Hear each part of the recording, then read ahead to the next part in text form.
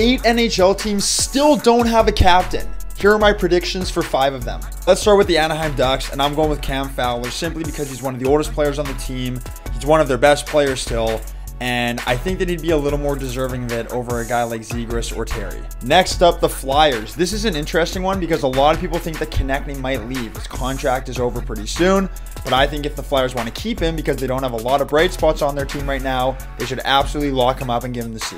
Let's keep things rolling with the St. Louis Blues. I'm going with Braden Schenn. Jordan Kyrou is a young, really good option too. He led the team in points last year, but I just feel like Schenn's paid his dues. He was on that cup winning team and he signed with the team for the foreseeable future. Remember when Mark Giordano was the captain of this team for a cup of coffee?